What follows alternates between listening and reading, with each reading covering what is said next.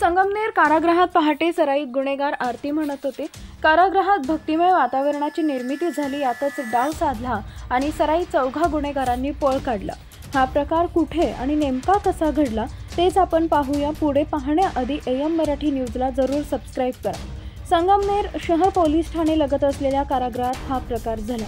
राहुल काळे मच्छिंद्र जाधव रोशन थापा ददेल अनिल कांबळे या चौघा सराईत गुन्हेगारांनी कारागृहाचे गज कापून बुधवारी पहाटे पलायन केलंय सराईत गुन्हेगार पळाल्याने कारागृह पोलिसांच्या कार्यपद्धतीवर प्रश्नचिन्ह उपस्थित होऊ लागले.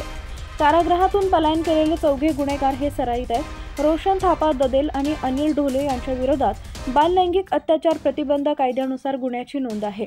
राहुल काळे याच्या विरोधात खुण्याच्या गुणाची तर मच्छिंद्र जाधव याच्या विरोधात आत्महत्येस प्रवृत्त केलेल्या गुन्ह्याची नोंद आहे. कारागृह पोलिसांनी मंगळवारी रात्री कैद्यांची मोजदाद केली होती. त्यावेळी कारागृहात असलेल्या कैद्यांची संख्या योग्य भरली. त्यानंतर कारागृहातील पोलीस गाफील राहिले. यानंतर पहाटे कारागृहातील कैद्यांनी आरती सुरू केली. कैदी असा प्रकार करत असतात म्हणून बंदोबस्तावरील पोलिसांनी त्याकडे दुर्लक्ष केले. कैद्यांनी आरतीचा आवाज वाढवला आणि त्यातच कारागृहाचे गज कापले गेले.